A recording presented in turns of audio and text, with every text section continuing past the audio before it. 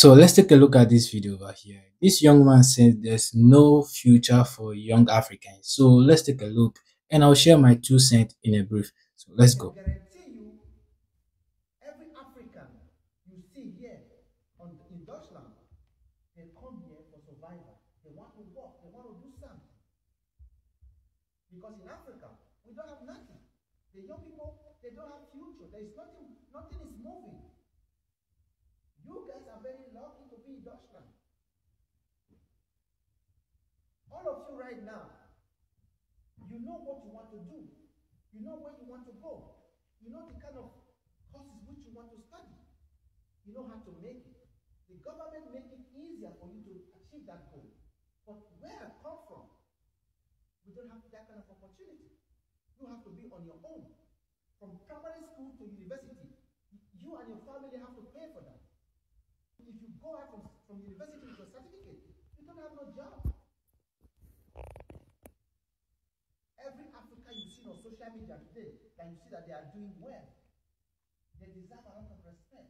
They make it out of nothing.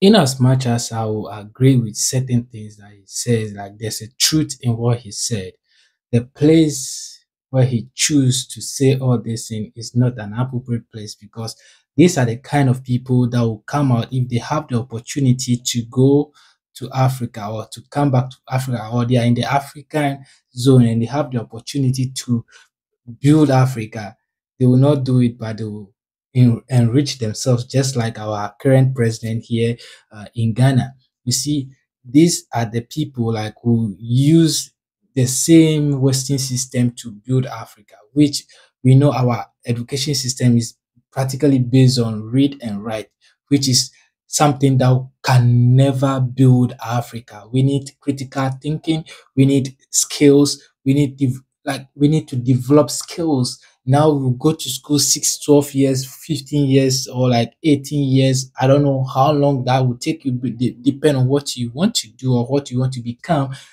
Reading and writing for nothing. Then you come back, you are holding a certificate to go and look for a job instead of you creating, finding problem and solving it.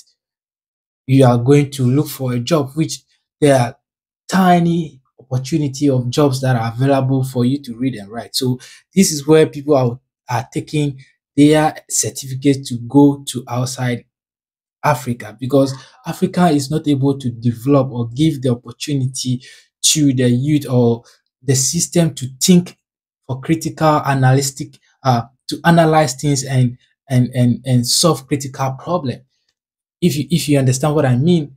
And he is there in front of a bunch of white people telling them that we have no future we have nothing we have a lot of things but the problem is we are using their education system because they use that education system not knowing fully well that if they give us this kind of education system we will find it difficult to develop our own self so that we'll come to them use the knowledge that they have they wanted to use to build their country or their economy.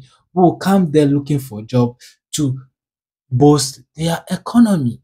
This this guy I accept the fact that he is saying a, what he's saying. There's a lot of uh, there's a little bit truth in it, but the need to go and sell yourself out to uh, uh to find favor.